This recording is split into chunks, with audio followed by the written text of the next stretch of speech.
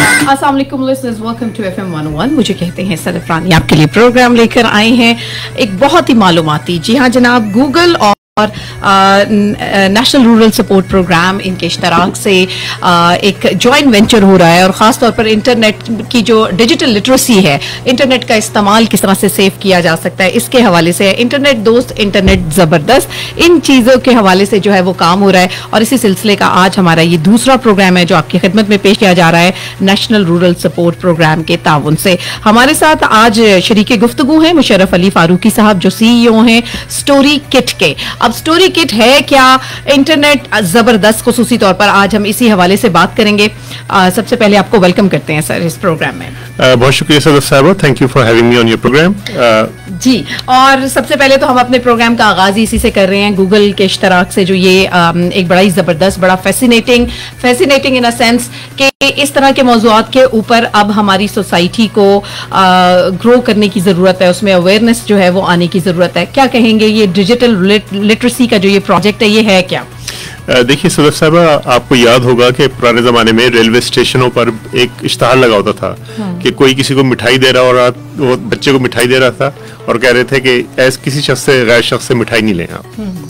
ठीक है तो this kind of public messages messaging बहुत पहले से हमारी सोसाइटी के अंदर चल रही है लेकिन अब जो इतनी ज़्यादा चेंजेस आई हैं with digital devices digital knowledge digital tools उसके बारे में इतनी ज़्यादा हमने उस पर कोई काम नहीं किया है एज अ सोसाइटी ठीक है। तो इंटरनेट ज़बरदस्त जो है ये बेसिकली बच्चों को न सिर्फ़ टेक्नोलॉजी बल्कि ऑल्सो जो आपके वो है किस तरह से हम आपस में एज ए सोसाइटी रहते हैं या एक दूसरे से हम किस तरह का ताल्लुक होना चाहिए आइडियली उसके बारे में है। तो अब इसके इसमें जो एक पहली चीज़ है वो ये है कि अपनी ज़ाती मालूम दूसरों से शेयर नहीं करें। जिस तरह हम्म। बच्चों को बताया जाता है भाई बाहर जाओ तो किसी से अपने घर की बात नहीं बताओ। अजनबी से जो है वो आपने कोई रहा नहीं रखना। जी, जी। तो सिमिलरली जब अगर आप वहाँ पर इंटरनेट पे बैठे हुए हैं तो आपको अपने बारे में सारी मालूम देने की ज़रूरत नहीं है कि मैं कहाँ पे रहता हूँ कितने बहन भाई हैं घर का पता क्या है वगैरह वगैरह। तो उससे उससे जो प्रॉब्लम्स आती हैं उस पर आ, ये ये जो सेगमेंट है इस इंटरनेट ज़बरदस्त का ये उससे डील करता है। अच्छा फिर आगे जाते हैं तो जिस तरह अब आपको घरों पे मैसेज आ जाते हैं भाई आपका अकाउंट बंद होने वाला है जल्दी से अपना पासवर्ड तब्दील करें हम्म। तो इसमें सबसे ज़्यादा मुश्किल उन लोगों के होती है जो अपने आप को अगर आपके पास आए मैसेज तो आप बैंक को फ़ोन कर लेंगी कि भाई ये इस तरह का है बता दें। तो हमें मालूम जी, जी। जी। लेकिन अगर कोई बूढ़ी खातून है या कोई बूढ़े साहब है उनके पड़े हुए ना उनके पास फ़ोन है ना फौरी तौर पर बैंक का नंबर है तो वो तो घबरा के बता देंगे भाई ये है मेरा नंबर इस तरह के स्कैम तो पढ़े लिखे लोगों के साथ बहुत हो रहे हैं। बिल्कुल बिल्कुल बिल्कुल। और इनकी मुख्तलिफ़ नोयत है ये तो सिर्फ़ एक है ना। अब उसमें फिर और भी तरह के हैं कि आपका वो सामान पकड़ लिया गया है और अब इसको छुड़वाएँ और यू नो वगैरह सब कुछ। तो ये इसका एक सेगमेंट ये है। फिर इसका एक सेगमेंट है कि दूसरों से आप एक हमदर्दी का रवैया रखें और उनकी जो बज़ाहिर आपको नज़र आ रही है एक ज़िंदगी उसको समझने की कोशिश करें कि ज़रूरी नहीं कि वो आपकी तरह ही हो। उनकी अपनी मुश्किल हैं उनको समझने की। तो बच्चों के लिए बहुत ज़रूरी होता है कि दूसरों के लिए एक हमदर्दी का रवैया एक ओपन ओपननेस का रवैया रखें उसके अंदर। और एक उसका जो आजकल बहुत ज़्यादा बढ़ गया है वो है बुलिंग कि किस तरह बच्चे दूसरों पहले भी होता था कि स्कूल के अंदर कोई ना कोई एक होता था। ठीक है। विलन होता था कि भाई ये है और वो सब बच्चों से खाना छीन के खा जाएगा या कुछ और इस तरह की बदतमीजी करेगा। तो अब ये बुलिंग जो है बिहाइंड द सीन्स चली गई है ऑनलाइन हो रही है। हम्म। और इसमें बच्चे और ज़्यादा हेल्पलेस क्योंकि वो सामने बाज़ार कोई है नहीं लेकिन उसको पता चल गया अच्छा मुझे तुम्हारी फलानी चीज़ पता है। अब तुम मुझे बताओ या मुझे ये ला के दो मुझे वो ला के दो। तो ये सारे जो चीज़ें हैं वो और फिर ये कि अगर आप कहीं कोई खबर देख लें ऑनलाइन तो इसका ये मतलब नहीं कि वो सच हो। आपने उसको तहरीरी शक्ल में देख लिया अगर किसी चीज़ को तो ये मतलब नहीं कि वो सच हो गया। हम तहरीर को सच अखबारों के ज़रिए और उससे इतना ज़्यादा एक एसोसिएट करते हैं कि अगर कोई तहरीरी शक्ल में कहे बस ये तो सच है हम्म। ख़त आ गया बस ये तो असल है वो जो आजकल इंटरनेट पे चल रहे होते हैं नोटिस के जी फलानी चीज़ की छुट्टी हो गई है या फलानी चीज़ कैंसिल हो गई है वो वो क्या है? वो यही है कि हम डिज़ाइन किए हुए होते हैं फेक लेटर्स होते वो एक एसोसिएशन है हमारी कि अगर लिखा हुआ गया तो बस ये पक्की चीज़ हो गई। हो तो ये है मीडिया लिटरेसी का कंपोनेंट इसका। ठीक है। कि आप मीडिया में जो कुछ देखते हैं ऑनलाइन आप कुछ देखते हैं या ऑनलाइन कुछ सुनते हैं या जिस तरह वो फ़ोन का पासवर्ड भी है बैंक का पासवर्ड भी है वो भी एक मीडिया लिटरेसी है कि आप फ़ोन पे कुछ सुना आपने किसी ने कोई मालूम दी अब तो आपने फ़ौरन घबरा कर रिएक्शन नहीं देना है हाँ, कुछ इस तरह से बिल्कुल ठीक। तो ये पाँच चीज़ें हैं हम्म, जिसमें हम्म। दो चीज़ें तो बहुत ही एक ह्यूमन उनका एंगल है, है। कि हमदर्दी दूसरों से और दूसरे अगर कोई बुलिंग आप कर रहे हैं कोई कर रहा है तो उसका क्या तोड़ है आपके पास? हम्म। उसको आप किस तरह रिपोर्ट कर सकते हैं ऑनलाइन ठीक है। उसको उसके खिलाफ जिस तरह वो जो हमारे यहाँ मार्शल आर्ट्स में होता है कि उसको उस पर पलट दो उसकी ताकत को। तो वो एक ये इस तरह के डिजिटल टूल्स हैं क्योंकि जब बने बना था इंटरनेट तो उसकी सारी बात है इतनी ज़्यादा किस तरह हमारी ज़िंदगी से इंटीग्रेट हो जाएगा वो किसी को भी गालिबन शायबा नहीं था उसका। नहीं जी जी। तो अब अब ये चीज़ें हैं।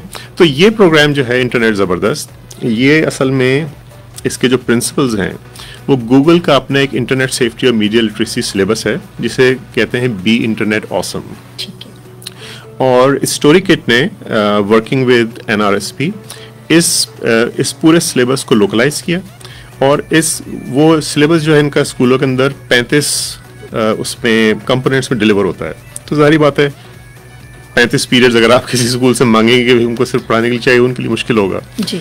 तो हमने उसको ये किया कि उन वो जो पैंतीस कंपोनेंट्स उसमें हर आ, असल में पाँच कंपोनेंट्स थे इनके साथ साथ वो सब कंपोनेंट्स थे। तो हमने उन पाँच जो बड़े चीज़ें थी जो मैंने अभी आपसे तस्करा किया जिनका उनको हमने कहानियों की शक्ल दे दी। ठीक है। तो जो रूल्स थे उन सब की हमने कहानी बना दी।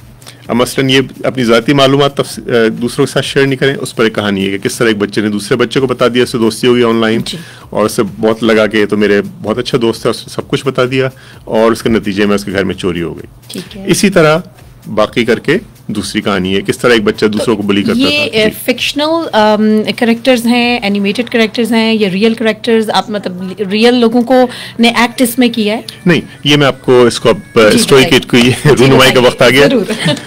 तो इस स्टोरी किट में हमारी प्रोडक्ट है इसमें हम story kit itself story telling की हमारी एक सर्विस है और ये हमारी प्रोडक्ट है। तो इसमें होता है एक छोटा सा डिब्बा होता है उसके अंदर हम एक कहानी की किताब होती है ओके। जिसमें तस्वीरें होती हैं। अच्छा। सारे किरदार वगैरह जो भी कहानी के हैं वो होते हैं। उसके साथ एक बोर्ड गेम होता है। हम्म। जो उन्हीं उसी कहानी पर उसी कहानी का जो मजमून है उस पर बेस्ड सर मुझे वो भी दिखाइए ताकि हम जरा कैमरा पे जरा नज़दीक करके जो है वो जी ज़रूर। आ, ये कहानी ये कहानियों की जो किताब है जी, जी, मैं वो भी दिखाइएगा। जी। इंटरनेट की कहानियाँ ये लीजिए। और ये इसका अच्छा ये काम कैसे करते हैं? अब हमें जरा ये बताएँ। एक तो ये हो गया जनाब इंटरनेट की कहानी है और जैसे मुझे अभी बता रहे थे ये देखिए इसके अंदर ये पिक्चर्स भी आई हुई हैं और इन पिक्चर्स को देखिएगा। और ये काफ़ी ज़बरदस्त मुझे लग रही है। अब आ, मतलब जो पिक्चर्स है उनसे तो लग रहा है इसके अंदर बड़ी अच्छी अच्छी कहानियाँ होंगी। अच्छा और ये अब सर ये तो हो गई कहानियों का समझ हाँ, आ गया। अब ये क्या है? ये जो है इन्हीं ये पाँच कहानियाँ जो है इनमें जो मुख्तलिफ़ सबक दिए गए हैं अच्छा। उन इसबाक पर मुश्तमिल ये गेम है। ठीक है। उनसे एक ड्राइव एक गेम है। और इस पर आप जिस तरह आप लूडो खेलते हैं सांप सीढ़ी खेलते हैं तो इस पर जब आप आते हैं कि नुकसान उठाया या फ़ायदा उठाया सीढ़ी से आप ऊपर चले जाते हैं अच्छा, जी जी। ज़बरदस्त। तो उसकी स्कोरिंग है और ये उसके गेम के रूल्स और ये आपस में बहन भाई जो छोटे हैं घरों में वो आपस में ये खेल के और बड़ी ज़बरदस्त किस्म की जी। ये खेल के असूल का भी एक छोटा सा कार्ड है जी ये भी मैं आपको दिखा दूँ। ये गोटे हो गई उसकी और पासा। ये देखिए जनाब ज़बरदस्त किस्म का एक बोर्ड सा ये बनाया गया है। और ये साथ में डाइस भी है इसके और गोटे। जी ये देख लीजिए। तो ये जनाब फन के अंदर जो है वो बच्चों को सिखाया जा रहा है। ठीक तो अब इसका तरीकेकार आपने पूछा था कि इसको किस तरह डिलीवर करते हैं।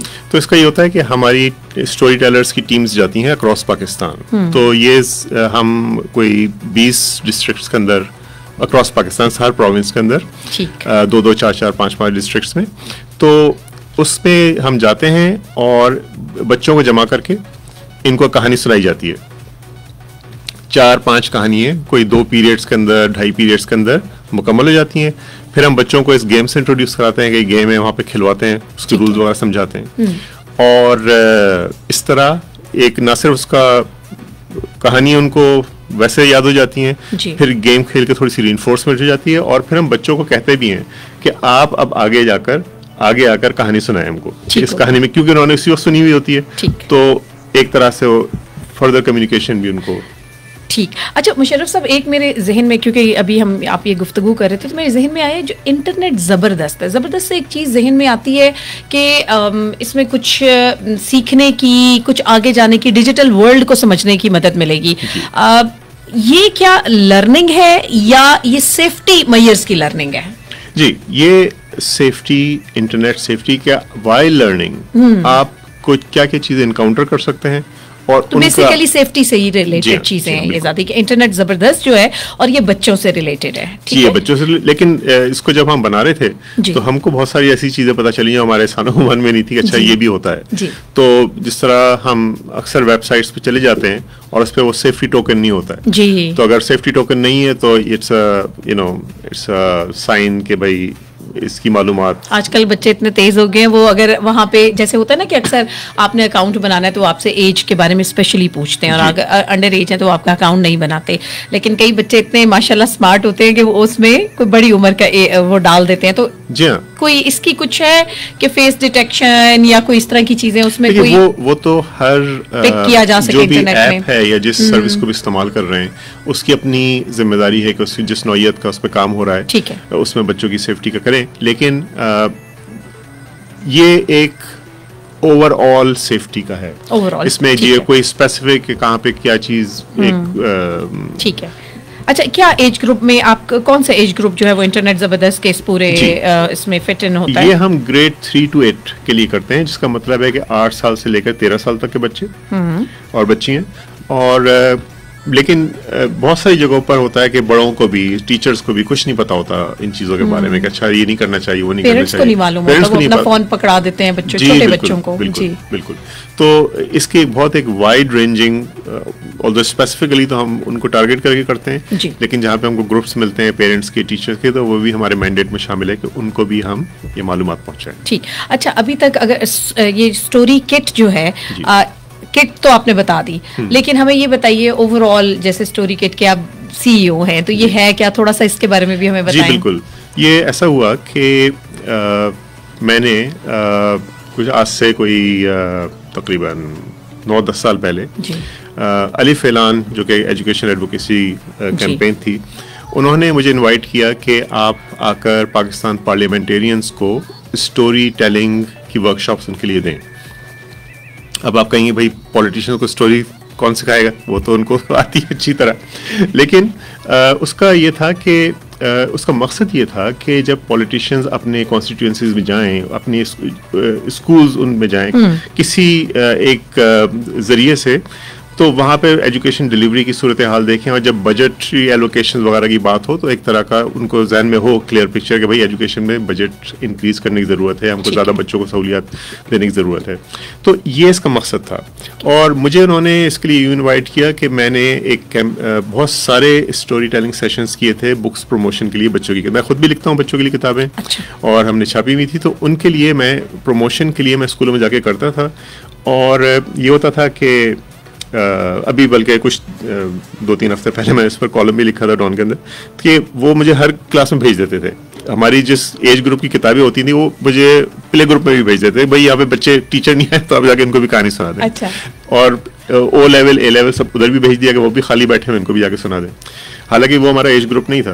तो लेकिन उसका फ़ायदा ये हुआ कि एक बहुत ही वाइड रेंजिंग एज ग्रुप्स के अंदर मैंने कहा स्टोरी टेलिंग की और किस तरह बच्चे रिएक्ट करते हैं छोटे से छोटे प्ले ग्रुप के लिए। हम्म। उससे मुझे पता चला कि भाई अगर तीन सेकंड से ज़्यादा आपने कोई बात की तो उनकी तवज्जो बढ़ जाएगी। बढ़ जाएगी। किसी और तरफ़ तो अब आपको उनको उनकी तवज्जो अपनी तरफ़ मबजूल रखने के लिए सिर्फ़ कहानी नहीं सुनानी उसके साथ आपको छलकूद भी करनी है उसके साथ आपको आवाज़ भी ऊँची नीची करनी है पूरा एक तमाशा दिखाना है बच्चों को बंदर का।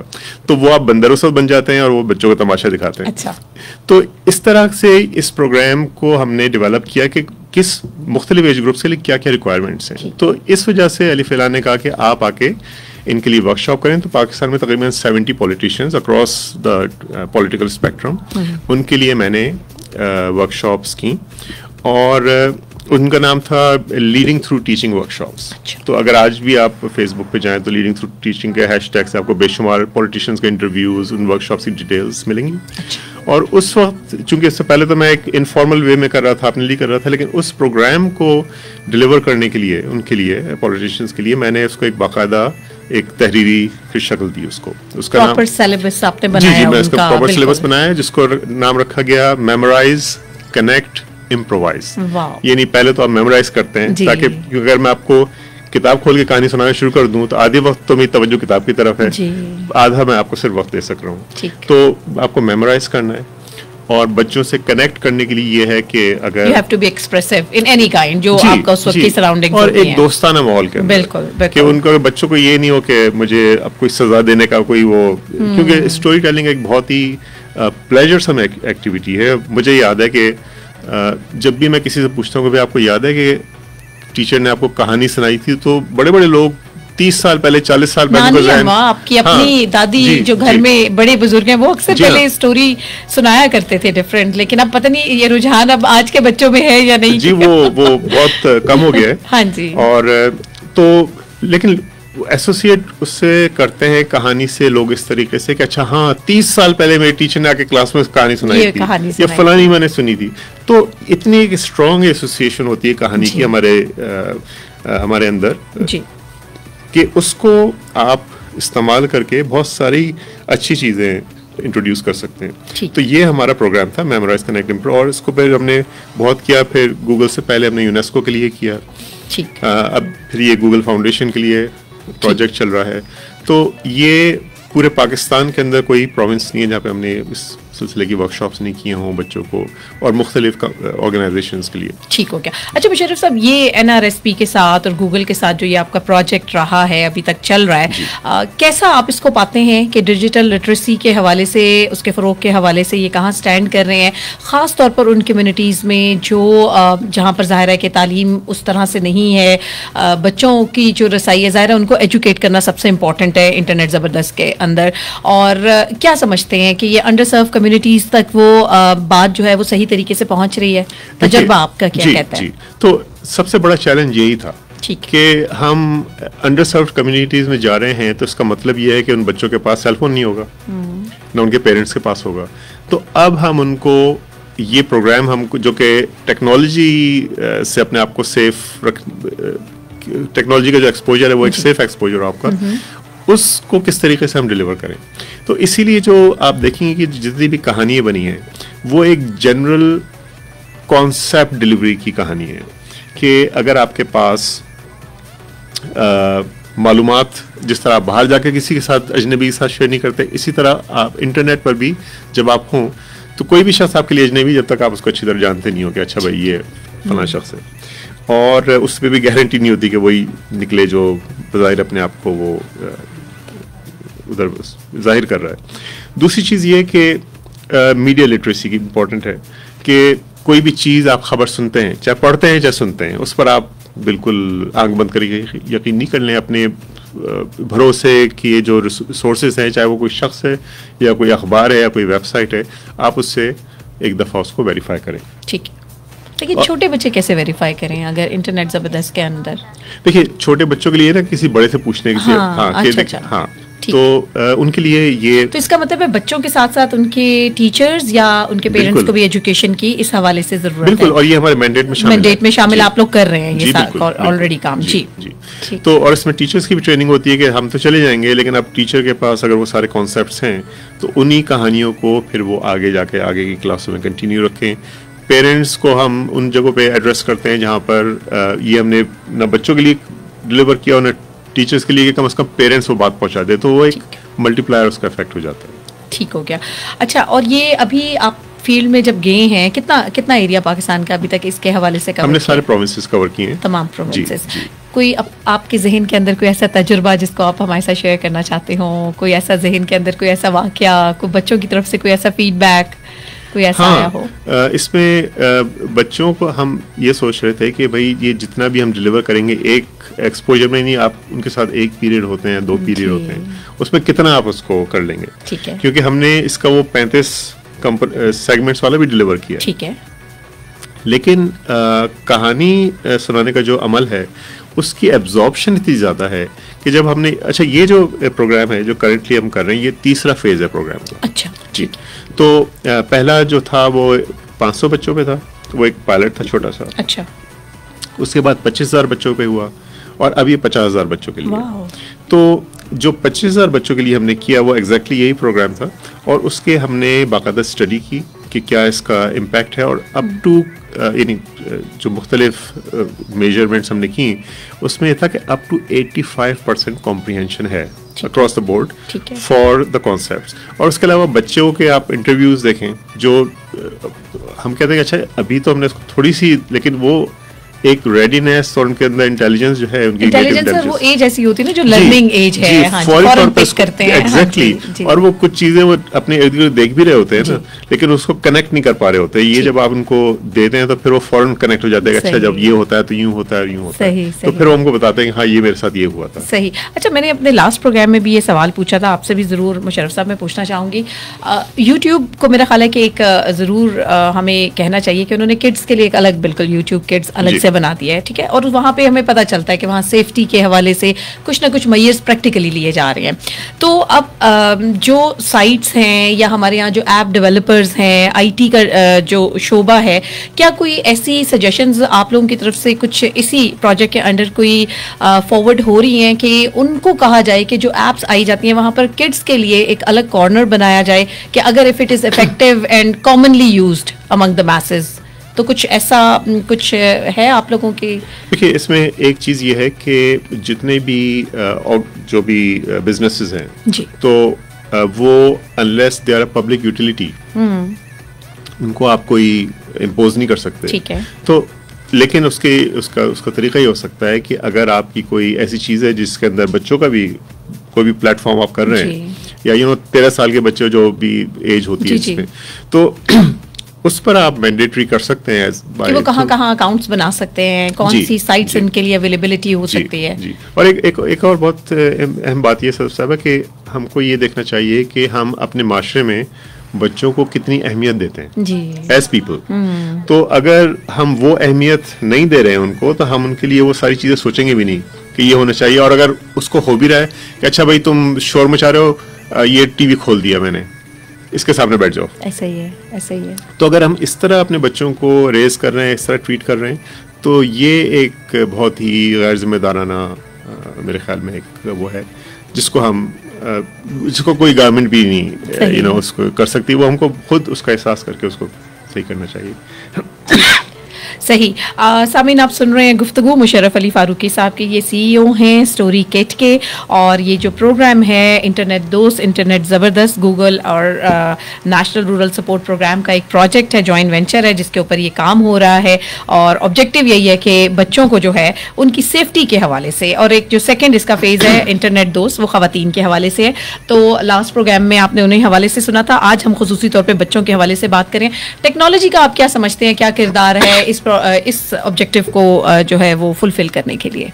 बच्चों की बच्चों की हवाले से अवेयरनेस के हवाले लेकिन बहुत इंपॉर्टेंट रोल है टेक्नोलॉजी का। इसमें कोई वो दो राय नहीं हो सकती। जी।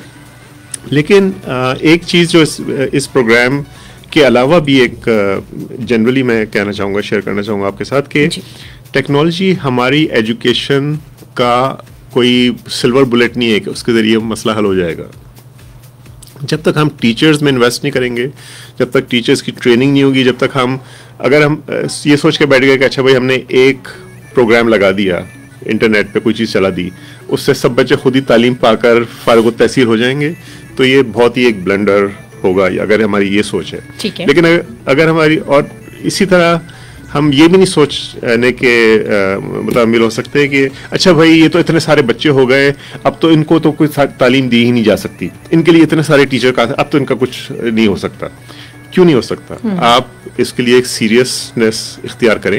ये आपकी नेक्स्ट जनरेशन है ना तो आप ये कैसे कह सकते हैं कि इनके लिए कुछ नहीं हो सकता? हाँ अब ये अब सिर्फ़ टेक्नोलॉजी बस इसके टीवी के सामने बिठा दो सीख जाएगा। हम टीचर का जो रोल है सोसाइटी के अंदर इस का वो एक बहुत ही सेंट्रल रोल है और उसके बगैर किसी भी किस्म की टेक्नोलॉजी हो ना उसका कोई पॉजिटिव इफेक्ट्स डिलीवर हो सकते हैं और ना जिस चीज़ के लिए वो टेक्नोलॉजी बनी है उससे कोई उस तरह से फ़ायदा उठा सकता है। ठीक। अच्छा सर ये बताएँ कि एक तो ये, एक आ जाता है आपका मेट्रोपॉलिटन सिटी वहाँ पे फिर भी थोड़ा सा एक पाया जाता है कि पेरेंट्स को पता है कि बच्चों के लिए क्या चीज़ सेफ्टी नहीं है। फिर बहुत सारे ऐसे कुछ इवेंट्स ऐसे सामने आए तो लोग कुछ ना कुछ लर्न कर लेते हैं। लेकिन जब रिमोट एरियाज़ हैं, जहाँ थोड़ा सा अभी एक्सपीरियंस करके लोग सीख रहे हैं तो वहाँ पर आप लोग इस टेक्नोलॉजी के ज़रिए किस तरीके से पहुँच रहे हैं, या उन लोग, उन बच्चों को एजुकेट करने की, या वहाँ पेरेंट्स या टीचर्स की एजुकेट करने के लिए काम कर रहे हैं? जी तो इसका जैसे मैंने एक मुख्तर पहले अर्ज़ किया था कि इसमें जो हमारा एम्फेसिस है वो ये है कि जो फंडामेंटल कॉन्सेप्ट हैं सेफ्टी के और लिटरेसी के वो कम्युनिकेट हो जाएँ। तो अगर इस वक्त उस बच्चे के पास फ़िलहाल या उस पेरेंट के पास फ़ोन नहीं भी है स्मार्टफ़ोन नहीं भी है तो अगर कल उसके पास आता है तो कम अज़ कम इन चीज़ों से वाकिफ हो कि ये चीज़ों के बारे में इन चीज़ों के बारे में मुझे एहतियात करनी है। और अब वो जारी बात है स्मार्टफ़ोन का इस्तेमाल बहुत बढ़ गया है बहुत बढ़ गया है बहुत ज़्यादा फैल रहा है हर जगह। तो कभी ना और वो बच्चों जब किसी घर में आता है तो फिर वो उस घर के बच्चों के हाथ में भी हम्म। किसी न किसी वक्त पहुँचता है। तो वो अगर बेसिक कॉन्सेप्ट तो एक तरह से मेंटल रेडीनेस उनकी हो। ठीक है। जी। ठीक है। अच्छा सर, एक और चीज़ बताएँ। अभी आप क्योंकि तालीम के हवाले से बात कर रहे थे टीचर्स की एजुकेशन के हवाले से बात कर रहे थे कोविड के दिनों में हमें पता चला जब बहुत सारे स्कूल्स ने जो है वो अपना टीचिंग का जो मेथड है, वो थ्रू जो क्लासेस है इंटरनेट का इजहारा इस्तेमाल हुआ तो बच्चों को कंप्यूटर के ज़रिए जो है वो पढ़ाया जाने लगा। अब इस तरह की जो पेंडेमिक है या खुदा न खास्ता आगे कोई इस तरह का कोई हमें नगाहानी सूरत हाल का वो कर तो हम इन चीज़ों को कैसे एक टेक्नोलॉजी को एक सेफ्टी के साथ जो है वो यूटिलाइज कर सक रहे हैं? इस तरह की जैसे पेंडेमिक कोविड की दिनों की प्रैक्टिस को आप कैसे देखते हैं इसका जो डायरेक्टली जिन टीचर्स से जिन स्कूल के प्रिंसिपल से एडमिनिस्ट्रेटर से मेरी बात हुई है उनका ये कहना है कि इसका बहुत एक मुजिर असर पड़ा बच्चों के ऊपर उनकी अच्छा। उनकी यानी उनकी जो फ़िज़िकल ग्रोथ थी वो डिस्टॉर्टेड वो डिस्टॉर्ट हुई? हम्म, हम्म। क्योंकि ज़ाहिर बात है अगर बच्चा घर के अंदर मुसलसल बंद है ना दौड़ सक रहा है ना भाग सक रहा है ना दूसरे बच्चों से सोशली मिल सक रहा है तो उसकी ग्रोथ जो भी नशो नुमा है वो एक, एक एबनॉर्मल तरीके से बिहेवियर मतलब चेंजेस आए बच्चों के अंदर ठीक है। चेंजेस आए उसके अंदर।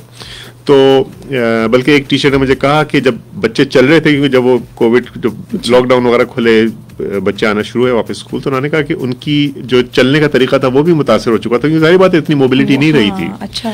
तो उसका एक उन्होंने बहुत उस तरह से किया। जहाँ तक टेक्नोलॉजी का ताल्लुक है तो उसमें ये कोविड के दिनों में ये बात भी बहुत अच्छी तरह वाजे हो गई कि जो इलेक्ट्रॉनिक वो है ज़रिया उसकी तदरीस का वो एक हद तक ही आप कर सकते हैं। उसको वो सिर्फ़ एक कंपोनेंट हो सकता है क्लासरूम एजुकेशन का वो क्लासरूम को रिप्लेस नहीं कर सकता। जी बिल्कुल ऐसे ही है।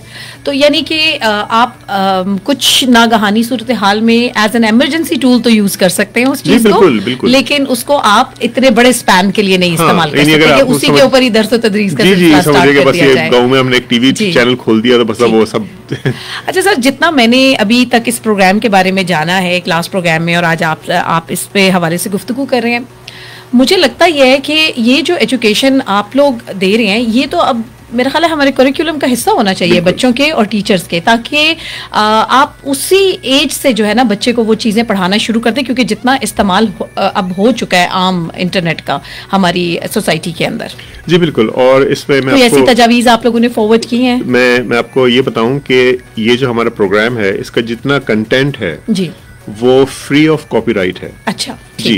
यानी उसमें जो होता है ना मुख्तलिफ़ के आप सेफ़ गार्ड करते हैं कि जी हमने इसको डेवलप किया। नहीं हम्म। ये एक रिक्वायरमेंट है गूगल फाउंडेशन की तरफ़ से कि जो भी आप इस प्रोग्राम को के जो कंटेंट बनेगा it should be free to use for others ताकि सब उससे मुस्तफ़ हो चुके हो सके। तो अगर कल गवर्नमेंट चाहती है कि ये सारी कहानियाँ वो अपने सिलेबस का हिस्सा बनाएँ तो हमारी तरफ़ से उनको दावत है कि they can use it without any financial anything you concern with the finance okay अच्छा सर लास्ट में मैं चाहूँगी क्योंकि ये प्रोग्राम हमारा फेसबुक लाइव पे भी पेश किया जा रहा है। बहुत सारे पेरेंट्स भी देख रहे होंगे सुन भी रहे हैं रेडियो सेट्स के ऊपर।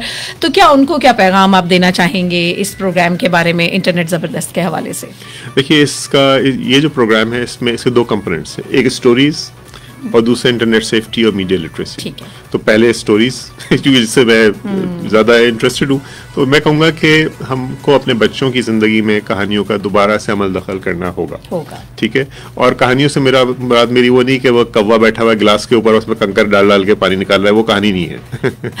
वो एक हमारे आज के बच्चे ज़्यादा स्मार्ट जी। तो वो कहानी हमको अपने बच्चों के लिए अच्छी कहानी है उनको अगर नहीं है आपके पास जो कि गलत है मुझे पता है कि कितनी कहानी हमारे पास दस्तियाब है लेकिन अगर आप समझते हैं कि नहीं भी है तो यू नो तर्जुमा करके बच्चों को अपनी ज़ुबान के अंदर कहानी सुनाएँ चाहे आपकी ज़ुबान पंजाबी है चाहे उर्दू है चाहे सिंधी है चाहे पश्तो है बच्चों को अपनी फ़र्स्ट लैंग्वेज के अंदर कहानी उनको मुतारफ़ कराएँ उससे उनकी अपनी एक बहुत ही स्ट्रॉन्ग लिंक बनेगा अपनी लैंग्वेज के साथ भी और उनमें एक यू नो एक एब्जॉर्प्शन की नॉलेज एब्जॉर्प्शन थ्रू स्टोरीज जिससे वो बहुत जल्दी एक केपेबल लर्नर्स बन जाएँगे। आपने पैगाम बहुत अच्छा दिया लेकिन इसके साथ ही ना मेरे जहन में एकदम से सवाल एक आ गया और वो मैं ज़रूर आपसे पूछना चाहूँगी। सेंस आपने दस से ग्यारह साल का आपका तजुर्बा इसी स्टोरी टेलिंग के साथ रहा और आपने शेयर भी स्टार्ट में किया था कि स्कूल्स में भी और इवन टीन तक जो बच्चे हैं उनको भी आपको पढ़ाने का मौका मिला। एक स्टोरी अगर कोई वालदेन अगर कोई पिक करना चाह रहे हैं क्या उसके अंदर बुनियादी कंपोनेंट देखें बच्चे को वो स्टोरी सुनाने के लिए? आप मतलब किस तरह से स्टोरी की सिलेक्शन कैसे बहुत अच्छा आपने सवाल पूछा है। मैं इसको जवाब देने के लिए बहुत पहले से तैयार बैठा था अच्छा, देखिए बच्चों को कहानी आप क्यों सुना रहे हैं बच्चों को? इसको अपने जहन में वाजे कर लें। कहानी आप इसलिए सुना रहे हैं बच्चों को कि एक ऐसी चीज़ से इंट्रोड्यूस कराएँ जिससे उसको मज़ा आए हम्म। जिससे उसकी तफरी हो और फिर उसको दोबारा उसके अंदर जाने का शौक हो कि अच्छा ऐसी कोई और भी चीज़ है या नहीं? ठीक है। अगर आप बच्चे को कोई सबक सिखाना चाह रहे हैं तो वो भाई हाँ। खुदा के वास्ते। अच्छा। उससे आप दूर है क्योंकि देखिए सबक ज़रूर सिखाए और हर कहानी में किसी ना किसी नौयत का सबक होता कुछ है। ना कुछ होता ही है लेकिन एक जो होता है ना कि डंडा लेके घूम रहे हैं सबक सिखाने के लिए बच्चों को कहानी के ज़रिए हम्म। वो उसका वो एक ऐसी चीज़ है जिससे मैं कहूँगा कि उससे ना बच्चा बच्चे कहानी की तरफ़ रागब होता है और ना वो सबक सीखता है। क्योंकि देखिए बच्चे मैं हमेशा जाता हूँ स्कूलों के अंदर सब कहते हैं भाई कोई इनको बच्चों से अच्छी बात करें। मैंने कहा देखिए बच्चे अपने इर्द गिर्द देखेंगे कि वहाँ पे क्या हो रहा है। क्या हो रहा है? मैं अगर दिन रात अपने बच्चों को कहता रहूँगा भाई सच बोलो और पूरा तोलो और यू इस तरह की जो बातें होती हैं और मैं ना खुद सच बोल रहा हूँ दिन में दस बढ़ता बच्चा मुझे झूठ बोलते हुए देखता है और मैं तोलने का तो खैर मेरा काम नहीं है लेकिन इस तरह के अगर मैं उल्टे सीधे काम कर रहा हूँ तो बच्चा तो वो देख के कहता ना कि अच्छा this is the standard in in the society जो आपका घर की सोसाइटी है, है। उसमें क्या स्टैंडर्ड्स है? तो सबक उस तरह नहीं सीखता बच्चा लेकिन इस बहाने कम अज कम कहानी पढ़ के थोड़ी सी तफरी उसकी हो जाएगी और पढ़ने की तरफ़ रागिब हो जाए। It is more towards the real world या इमेजिनरी वर्ल्ड कुछ फिक्शन बेस्ड क्या दोनों दोनों अच्छा, कहानी बहुत अच्छी हो सकती है। दोनों कहानी बहुत अच्छी हो सकती है। और मैं तो कहता हूँ कि बहुत सारे बच्चे होते हैं उनको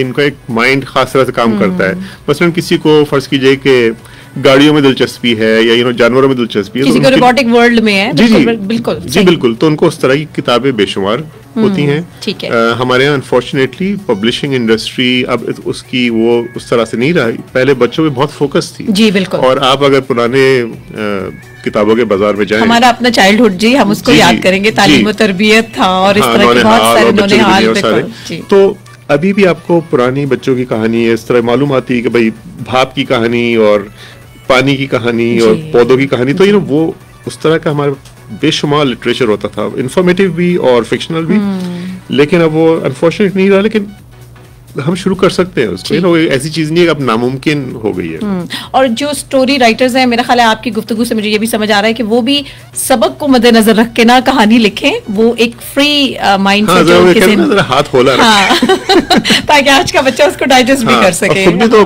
अपने मज़े के लिए भी लिखे ना। बिल्कुल सही हाँ। बिल्कुल सही। बहुत अच्छा लगा मुशरफ अली साहब आप इस प्रोग्राम में तशरीफ़ लाए और इंटरनेट ज़बरदस्त के हवाले से वाकई बहुत ज़बरदस्त बातें की।